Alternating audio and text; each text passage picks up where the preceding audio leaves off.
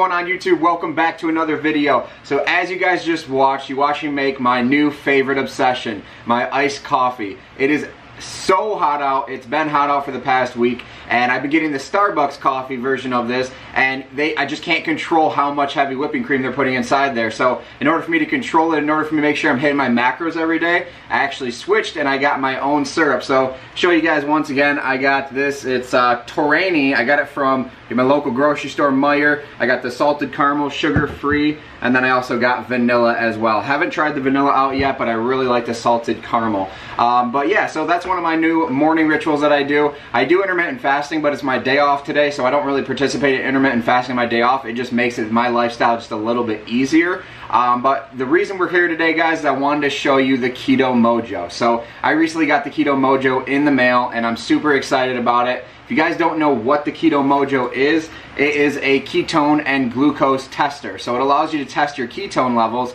rather than using the urine strips that I've shown, I think, in previous videos, or if you guys follow me on Instagram, I put pictures up there every once in a while. Um, but I read a lot of different studies, and they say that when you do the strips, after a while, your body doesn't really produce or show those ketones because they actually only produce it through blood because you get the actual true ketone levels. So I hit up Keto Mojo Company and they gave me this awesome sample kit for free of charge. Um, and they also hooked me up with a discount code, which you guys can find in the description. Um, but just to show you guys, so it's a little kit, little comes in a little nice little kit here. Uh, comes with one bottle of the Keto Mojo Keto strips that allow you to test it. It also comes with the lancets, which are the actual needles that go in there. And I'll show you guys, hang tight, I'll show you in a second the way that this looks like getting set up. The actual reader, and then the awesome little pen that you prick yourself with. I was kind of partial to try this. Um, I've seen a lot of different YouTubers reaching out to Keto Mojo and, and doing a review on this product and you know, I was, I'm not big into pricking myself. I think it's a little crazy to do so, but I wanted to try it out because I really wanted to know where my ketone levels were.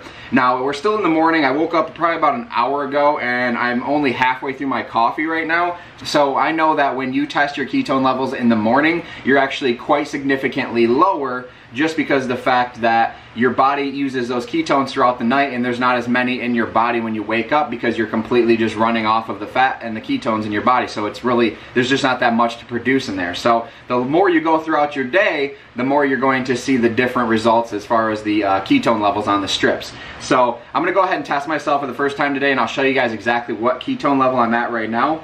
Um, but just to show you the way that this sets up. So you take this pen right here and you just twist off the cap and it comes out. You take out the old pin, which is the lancet they call it. Set that aside. I'm gonna grab a new one here. All right, once you get the new one, you're just gonna stick it right in the top there. Then it has this like little pull tab up top here that you'll just twist off. All right, when you twist it off, put the cap back on, and then I don't know if you guys can see, I'm gonna try to get this to focus. There's like these little notches. The higher up you go, the, the harder the pin's gonna push in. So if you have thicker skin, you're gonna wanna go up. I think I go at level four and that's perfect for me. I've done level two, level one, and they just don't prick me and give me enough blood. So once that's all set up to be able to take the prick, you're gonna wanna go ahead and pull out one of these tested samples. Now with every one of these tested samples, there comes a little chip that you'll actually put inside the Keto Mojo test. What that does is it calibrates it to these specific strips. So you want to make sure you do that before you actually test your ketone level. So I've already done that. 601 is the number for calibration. It's already on there. So now that that's already on there, I'll take my little strip and I'll just go ahead and put it inside there. After that's done, this will turn on and it will display channel and then it will display 601 for the actual channel. So now that we're on that channel, we're gonna go ahead and set that aside. Now you have to take this and you have to pull it back to cock it and you'll see this little orange strip start here.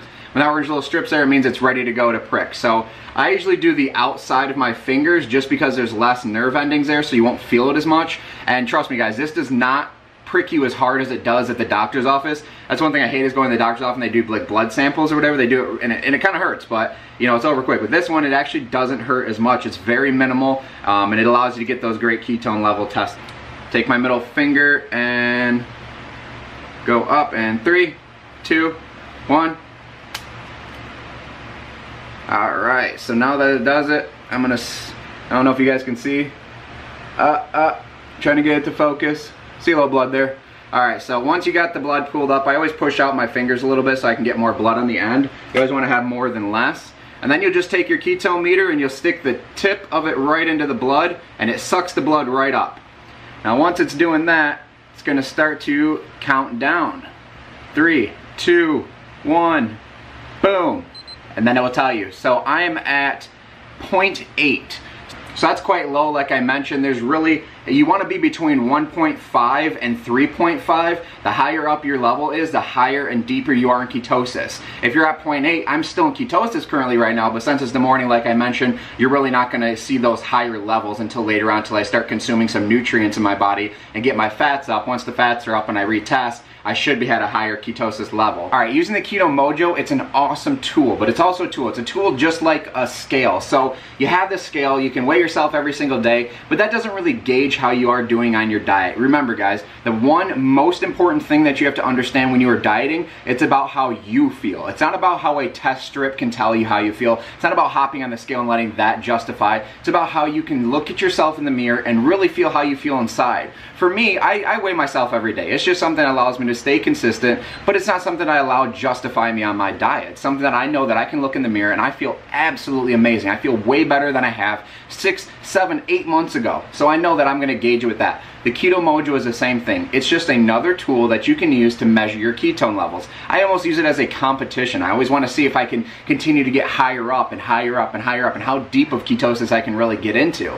You know, and that's a really cool thing to do on your diet. It just keeps motivating you, pushing you through. But everybody gets motivated differently. This might not be perfect for you. But if it is, like I mentioned, I got a discount code for you guys down in the description. Go ahead and pick yourself up one. It's an amazing company and it's also an amazing product. They did not pay me in any way, shape, or form to review this product. I just wanted to bring the best content to you guys so that you can see firsthand before you go out and spend your own money. So I'm gonna go ahead and me, the wife, and my son Weston are gonna go out and we're gonna go grab some lunch here in just a little bit. I'm gonna eat something and I'll show you guys what I eat. After we eat, I'm probably gonna wait about 30 minutes to an hour and then I will retest my ketones and we'll see if there's any fluctuation in there. Sometimes there is and sometimes there isn't, but if you guys are interested, let's go ahead and get this day started. All right, guys, so we just pulled into Qdoba, so that's where we're gonna be eating for lunch. Uh, we were gonna go to Five Guys, but I figured something a little different. Uh, I've been eating Chipotle quite a lot lately, and for those of you that don't know what Qdoba is, Qdoba is actually the same concept as Chipotle. It's just 100% better in my opinion. I think Chipotle is just a fad. People love it just because other people love it. But Qdoba has way better meat in my opinion. So we're gonna go inside, we're gonna grab our food, and then I'll check back in with you guys and show you exactly what I'm eating. And then like I mentioned, about 30 minutes to an hour after that, I'm gonna show you exactly what my ketone levels are by the Keto Mojo. And if you can hear in the back seat, Weston's making a bunch of noise. What are you doing back there? So, all right, so we're gonna go ahead and go inside and I'll check back in with you guys once I get my plate. Now there goes a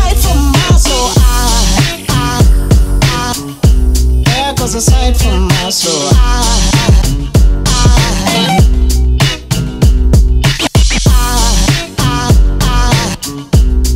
There goes a sight, there goes a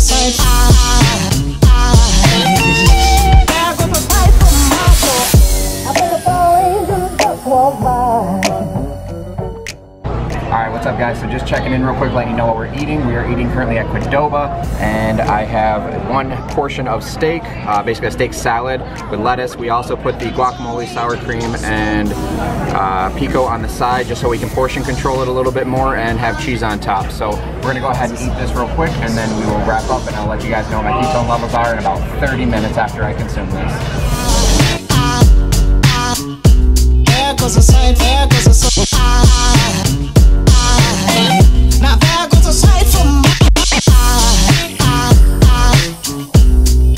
There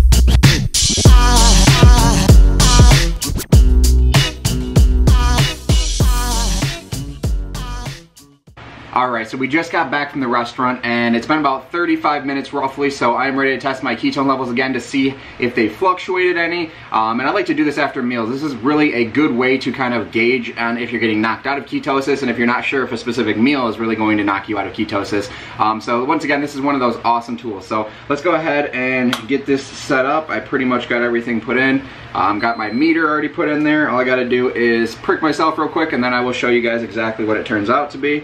Um, so let's go ahead and put on the finger. Three, two, one, hit. All right, push up the blood.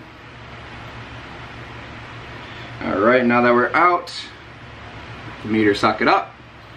And here we go, countdown time. Four, three, two, one. All right, 0.6.